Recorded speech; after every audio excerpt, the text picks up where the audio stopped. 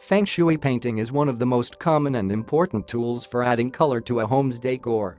Hanging nature paintings depicting a beautiful and solid mountain with waterfall scenery against a sunrise backdrop are common among the Chinese. These auspicious paintings are thought to bring good luck and fortune to the family, but there are some feng shui considerations to keep in mind before hanging a painting in your home. We'll go over how to pick a good feng shui painting in this video. What kind of feng shui painting should I choose? The quality of a painting, as well as the meaning it conveys, whether positive or negative, are important considerations when selecting a good painting. Let's take a look at some guidelines for selecting one. What is a bad feng shui painting? 1. Avoid showing paintings of ferocious-looking creatures or beasts, such as tigers, lions, and so on.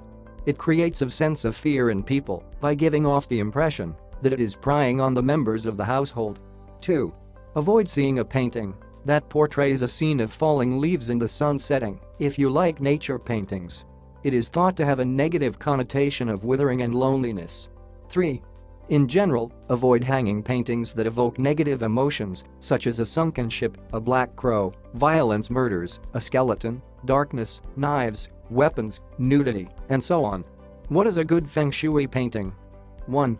Paintings of positivity with auspicious significance and sense, such as blossoming flowers, koi fish of abundance, sunrise, and so on, are feng shui paintings that you should consider using in your home. 2. Water and mountain scenery are the most common types of paintings among feng shui devotees, but quick gushing waterfalls should be avoided. Last but not least, because you will be seeing it every day, you must pick something that you enjoy.